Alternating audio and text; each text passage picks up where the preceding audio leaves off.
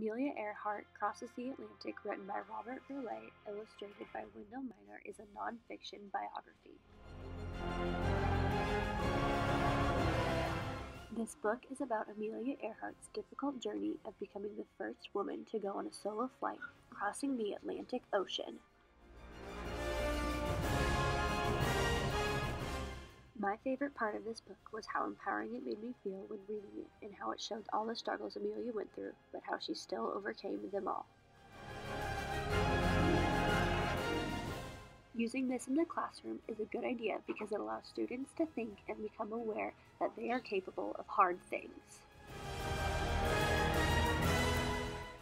I recommend reading this book with students because the words and pictures are exciting, but it also shows them how real it was.